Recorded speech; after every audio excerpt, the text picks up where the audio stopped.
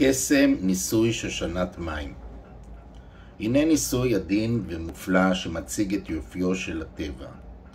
פיסת נייר מקופלת בצורת ניצן סגור, מונחת על פני המים, וכשהפלא מתרחש, הניצן נפתח והופך לפרח נהדר. מי דוחף את העלים? איך נייר זז בכוחות עצמו? הסוד טמון בקערה ובחומר המיוחד שבתוכה. מה שצריך, נייר או בריסטול, כוס, עיפרון, מספריים, קערה עם מים. בואו ננסה. בעזרת הכוס והעיפרון מסמנים עיגול על הדף. מציירים עלי כותרת סביב העיגול. גוזרים את הפרח. מקפלים את העלים פנימה למרכז העיגול.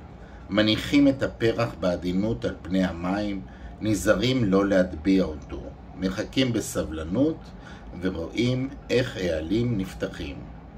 אפשר ליצור פרח אחד מנייר ופרח נוסף מבריסטול ולראות את ההבדל במהירות שבה העלים נפתחים. איך זה קרה? אחת התכונות המיוחדות של המים היא היכולת לטפס נגד כוח הכבידה בתוך מעברים צרים מאוד. התכונה הזאת נקראת נימיות. היא מתאפשרת בגלל כוחות שמושכים את מולקולות המים זו אל זו. בתוך הנייר יש תעלות קטנות וחריצים דקים ובלתי נראים. המים מטפסים בתוך התעלות הצרות האלה, מפעילים לחץ על הנייר והוא מתמלא במים ומתיישר. איפה רואים את זה בעולם? הצמחים זקוקים למים כדי להתקיים.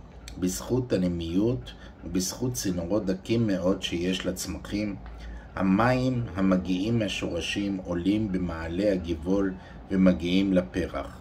משם הם מתאדים החוצה, ומים חדשים עולים מעלה, גאוני ממש.